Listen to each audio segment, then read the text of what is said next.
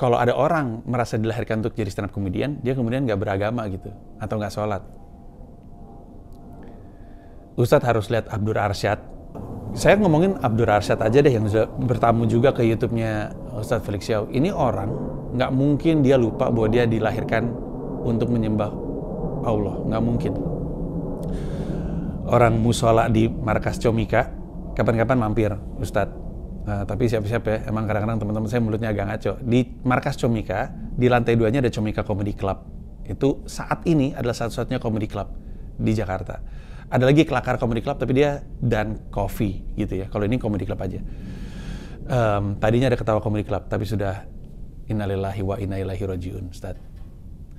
Um, di bawahnya ada musola, di markas Comika ada musola. Musola namanya Al Arsyad, nama musolanya.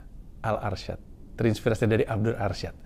Nah, tapi pada saat yang bersamaan, kalau kita ngeliat Abdur stand up, kita juga suka terpikir bahwa ini orang dikasih bakat sama Allah untuk bisa ngomong seperti itu.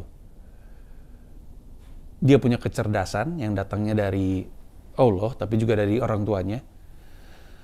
Um, dianya juga guru, lalu dia memutuskan untuk menggunakan uh, kecerdasannya untuk berkomedi Hal yang sama dengan Danny Beller juga, Ustaz. Dan saya yakin mereka juga sholatnya baik dan lancar.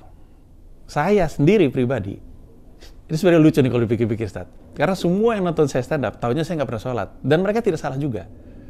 Hanya saja kebetulan, dan mohon izin saya menggunakan demi Allah, Ustaz. Saya ngomong gini karena anda Ustadz, saya pelawak nih. Kalau saya ngomong nggak pakai demi Allah, Anda atau mungkin dunia mungkin nggak percaya. Demi Allah, Ustadz.